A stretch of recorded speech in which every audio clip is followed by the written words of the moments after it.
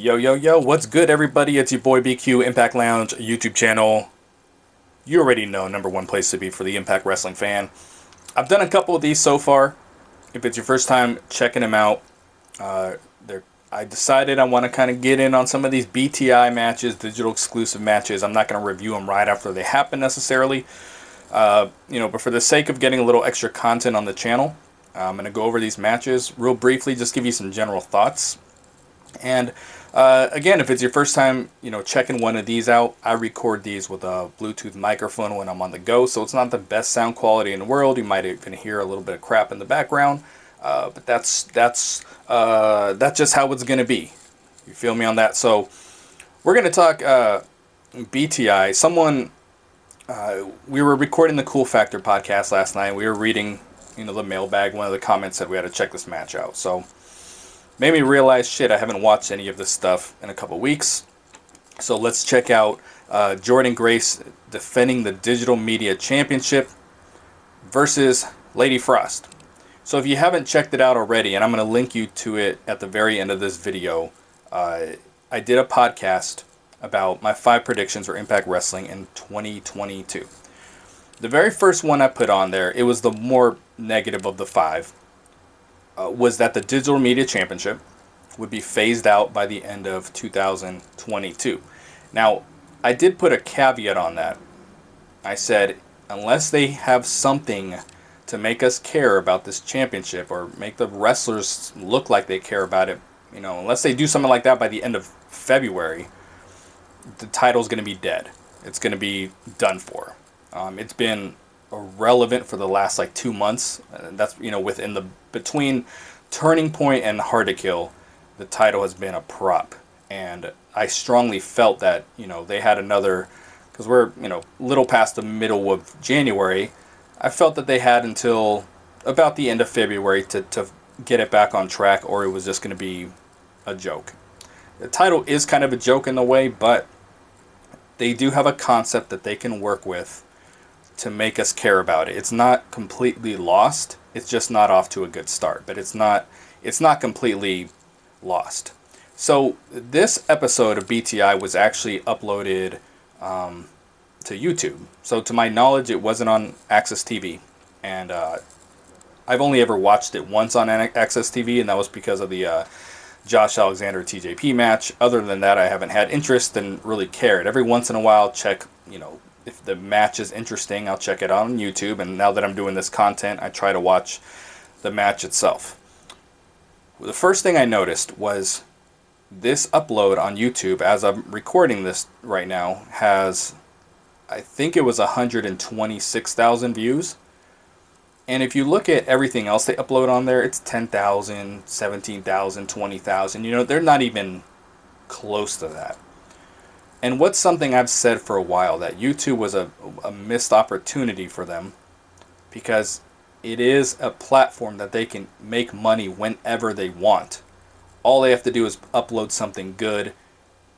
And that's why I've been bitching about engaging content for the longest time and not um, match clips and, and things like that. Like, have some dedicated YouTube content because people will watch it if they have some content that is engaging and, and they will care about. Just watching what we just watched on Impact, no one cares. So you can see that in the views. Now, moving BTI uh, to YouTube, I would imagine makes more sense for them financially. Uh, I mean, this is the way I've put it, and this is uh, this is such common sense. It's crazy. Like if you want to have money to put to, and I don't know how their finances overall work. Okay, let's make that clear. But if you're trying to have extra money for, uh, you know, maybe it has something to do with the venue or has something to do with the lighting, or you're trying to sign a wrestler, you're trying to extend a wrestler, you're trying to give someone a raise, like you can. There's so much they can make up by being good on YouTube. You know, so this is a good example. I think this is going to be more beneficial because if you know, uh, let's say 125,000 views times 2, 250 uh, times 4, what's that, 100,000 views extra a month that they're not receiving, that, have they, that they haven't been getting. And that's a diff- decent chunk of revenue that they can use for whatever. You feel me on that? So, um, I think this is a good thing, and it's going to be easier for me to actually watch it and just fast forward on YouTube rather than try to you know watch it on my DVR or something like that. Anyway, uh, I think I'd said this in my first couple uploads when I was talking about BTI. The first thing that I I that, that grabs me when I'm watching BTI is that it it's an easier watch than Impact in a lot of ways. You know, the music's better. Um, you know, they do the background music thing too, but it's it's actual background music, so it's tasteful. It sounds good. It sound you know. I've never said don't put music in the background. It just you just don't put melodic songs. That's like common sense. So the one they use, it sounds good when when Josh and Gia are talking. It sound it sounds good, and it's a good role for Josh. And this uh, when they first announced BTI, I said this was a good opportunity to grow Gia Miller because at the time she was super robotic on television and she really lets her hair down doing this and I think it's helped her on the show a lot. Like there's there's a lot of improvement in that girl. Um, and you know going back to when they announced BTI, at first when they said the show's called Before the Impact, I hated it. I was like that name sucks. And the reason I said that is because everything is always impact this, impact that, and that's why I like the Aftershock name the show sucked, but the the name was great, and I liked them. Um, you know, like thinking outside the box a little. It, it's difficult to do that. Like I'm doing this channel, I had to had to be impact something because you know I had to let people know what the content was about. Uh, but I threw Lounge on there to be a little more original. But it's it is difficult to come up with original content that or original ideas and names that still tie into the word impact, but at the same time, every time it's impact this, impact that, it just I was just like, that's that name sucks. And then I also said, you know, BTI was like BTE, you know, sounded similar. But I kind of take it back. I know I take it back 100% because I think for a branding standpoint, the BTI term has caught on very well. No one calls it before the impact. It's it's, it's BTI. It's worked. It's simple. It's easy. People remember it.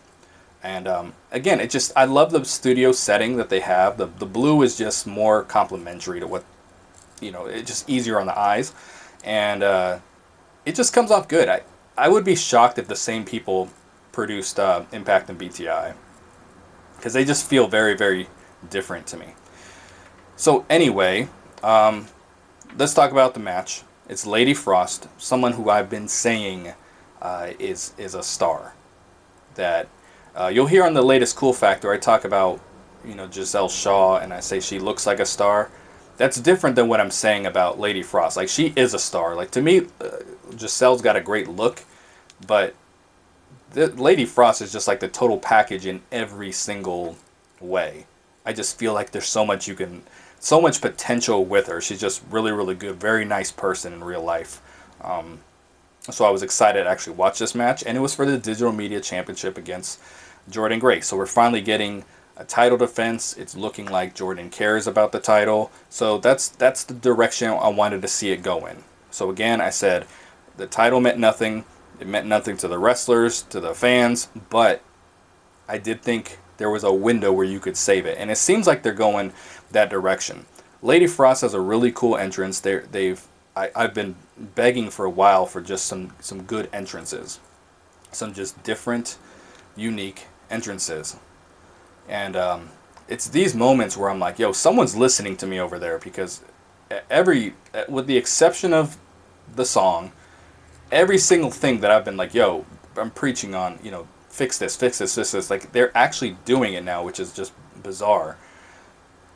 That I mean, I just can't believe it's actually coming to fruition. So I really like her entrance. The camera, the camera, the editing is a little choppy. Um, but it's it's good. I, I really like it. It's, it's very very different. They showed her doing the moonsault off the the Ultimate X. The Ultimate X was done very very well because they found a way to play into each wrestler's strength and not uh, not beat them to death by keep making them go for the X. You know, like most likely they only had so much stamina to do that, and um, you know they they took Lady Frost out of the match. When she did that, she was like done for the match. But it was a, it was a moment we'll remember. And you know, ten years from now, when they're still playing the Impact flashback, and they're showing, Elix Skipper on the top of the cage and all these all, all, all these things. They're to show that, you know. So um, she's just she's got such a star quality about her. Uh, I love watching her matches. So this match here with Jordynne Grace, the crowd was into it. They were excited. They were feeling it. I don't know if it was done at the beginning of the tapings, at the end. I have no idea. It was most likely done in the beginning, kind of like a dark match. But the crowd was really, really into it. And these are two girls that they care about. Jordynne Grace is another one. She's just becoming a star, and they should never let her leave. If you think about when Jordynne Grace debuted in the company, you know, she was a lot bigger. Um, like she's what what I mean is she's leaner now. She's and, and she's more cut.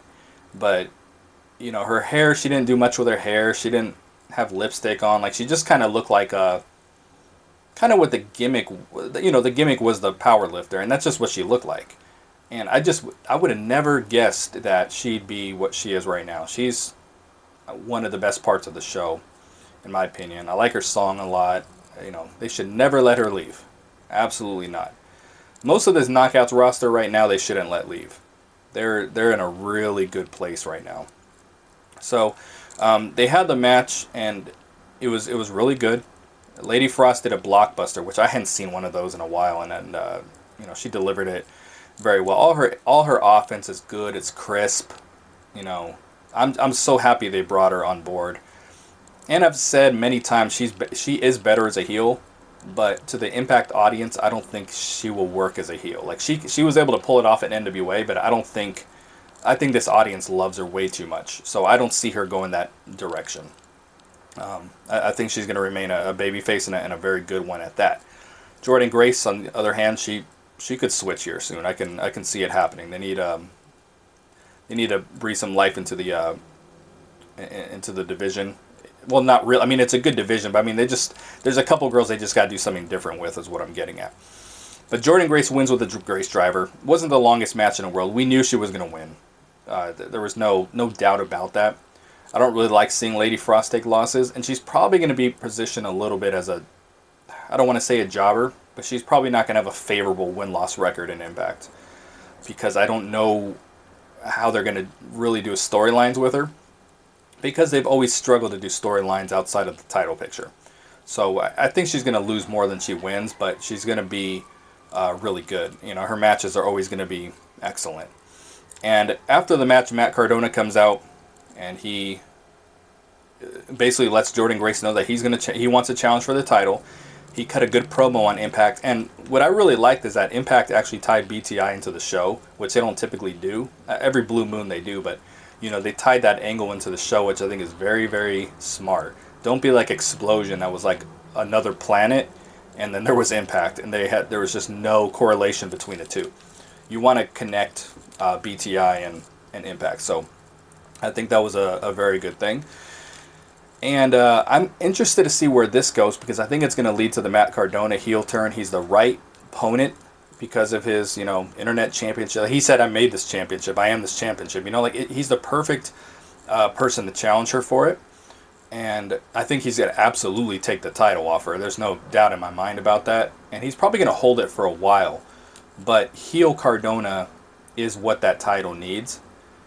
Um, he, he's, he's just very creative on online and creative uh, on the indies. And right now he's on NWA. He's a heel. And every time he comes out, he's like, "Where's my music?" You know, because NWA doesn't play entrance music. So, you know, uh, it's he's the only person to really acknowledge that in a couple years ex- uh, the company's been in existence, and I think it works for him.